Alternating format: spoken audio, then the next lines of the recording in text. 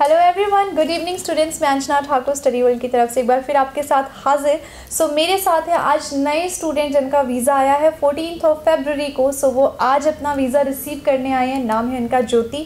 कैथल से थोड़ा सा आगे इनका एरिया पड़ता है। वो स्टूडेंट आपको डिस्कस करेंगे आपके साथ में कि क्या प्रोफ़ाइल थी कहाँ के रहने वाले हैं। कैसा एक्सपीरियंस रहा? किसके रेफरेंस से आई हैं? सो मेरे साथ है ज्योति। सबसे पहले उनको कॉन्ग्रेचुलेट करेंगे कि फ़र्स्ट ऑफ़ ऑल कॉन्ग्रेचुलेशन बहुत सारे स्टूडेंट की तरह आपका भी फाइनली वीज़ा आया है। जो भी स्टूडेंट स्टडी वर्ल्ड की तरफ़ से अप्लाइड होते हैं वीज़ा आता है सो उनका एक ये वाला जो मोमेंट होता है वो बहुत स्पेशल मोमेंट होता है कि फाइनली उनका जो वीज़ा आया है उनकी जो खुशी है और उनकी जो एक्साइटमेंट है वो वीडियो के थ्रू स्टूडेंट तक पहुँचाने की कोशिश रहती है कि आप जैसे इनके जैसे और भी स्टूडेंट हैं जिनका सपना है ऑस्ट्रेलिया जाके पढ़ने का वो स्टूडेंट स्टडी वर्ल्ड को कांटेक्ट कर सकते हैं। सो so, बिना देर करे हुए हम बात करेंगे पहले ज्योति के साथ में। ज्योति क्या प्रोफ़ाइल है? स्टार्टिंग में यहीं से करूँगी okay. कि थोड़ा अपना इंट्रोडक्शन आप स्टूडेंट्स को दें और उसके बाद आपका प्रोफ़ाइल क्या है वो आप डिस्कस करें। मैं ज्योति और मैं जीन से बिलोंग करती हूँ।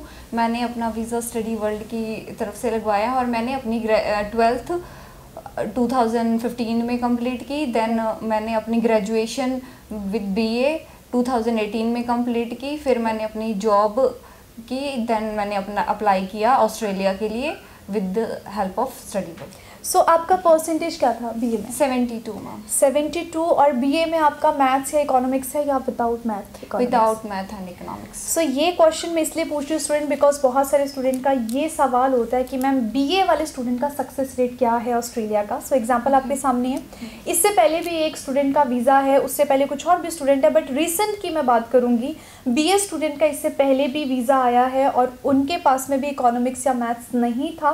सो so, जो भी इंटरेस्टेड स्टूडेंट है आर्ट्स वाले ह्यूमैनिटीज़ वाले बीए वाले स्पेशली वो स्टूडेंट अप्लाई करवा सकते हैं। सो so, अगर मैं बात करूँ आपके आइल्स या पीटी का तो क्या स्कोर है आपका? 63 63 overall not less than 56 not less than fifty six so score भी काफ़ी अच्छा है उनका और जो परसेंटेज है वो भी काफ़ी अच्छे हैं। सो so, अगर आपका बीए है ह्यूमैनिटीज़ आर्ट्स आपने किसी भी स्ट्रीम से अपना प्लस टू किया है या आपने ग्रेजुएशन की है सो so, आपको बिल्कुल भी टेंशन लेने की ज़रूरत नहीं है बिकॉज़ ऐसी प्रोफाइल्स जो होती हैं जिनका पी टी स्कोर अच्छा है परसेंटेज अच्छी है सो so आपके चांसेस ज़्यादा रहते हैं। नहीं फ़र्क पड़ता कि आप ह्यूमैनिटीज़ से हैं या फिर आप आर्ट्स बैकग्राउंड से हैं।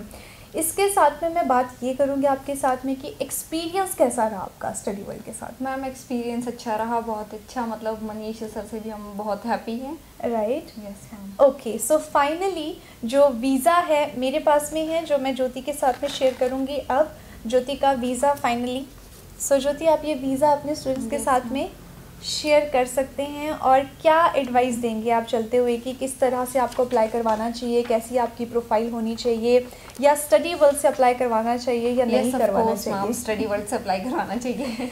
और क्या एडवाइस yes. देंगे अपने जैसे स्टूडेंट्स को? आफ्टर बी ए मैम हम इमिग्रेशन के लिए ऑब्वियसली अप्लाई कर सकते हैं। ऐसा नहीं है कि सिर्फ़ मेडिकल या फिर नॉन मेडिकल स्टूडेंट्स ही अब्रॉड स्टडीज़ के लिए जा सकते हैं। We can also go for abroad studies right जैसे आपने बोला आपका बीए के बाद गैप था आपने जॉब किया है गैप yes, में ठीक है? सो वो भी एक स्टूडेंट्स का डाउट रहता है कि गैप है गैप के बाद अप्लाई करवाना चाहिए या नहीं? यस ऑफ़ कोर्स गैप के बाद अप्लाई करवाना चाहिए।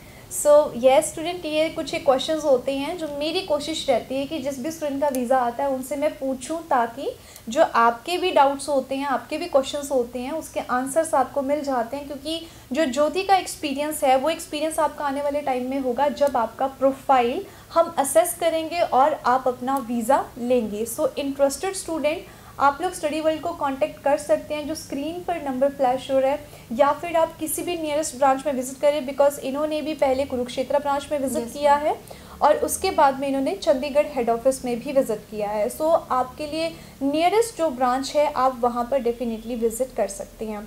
So thank you so much Jyoti आप आए और आपने ये थोड़ा सा हमारे लिए हेल्पफुल होता है बिकॉज़ जो हमारा काम है आपके लिए वीज़ा लेके देना आपका yes, सपना पूरा करना।